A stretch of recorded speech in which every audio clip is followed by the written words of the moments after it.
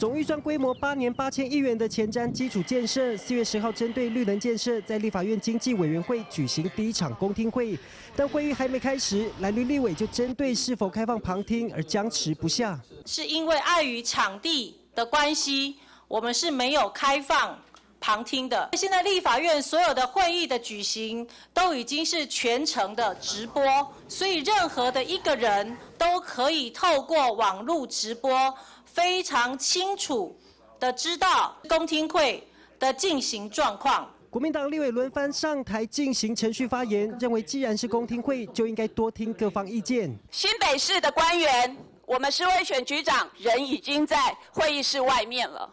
既然刚刚招委也宣告说，未来几场一定邀请县市出席。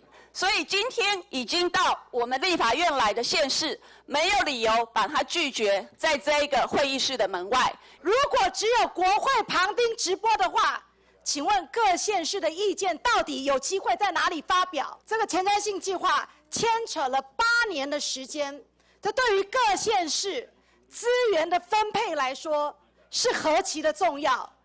民进党选前要求公开透明，选后。只有还想蛮干而已。经协商过后，邱意莹同意让已经到场的新北市云林县代表进场旁听。主席愿意从善如流了哈，就说刚刚大家提到，现在在现场有新北市的经发局施局长，以及云林县政府的副局长。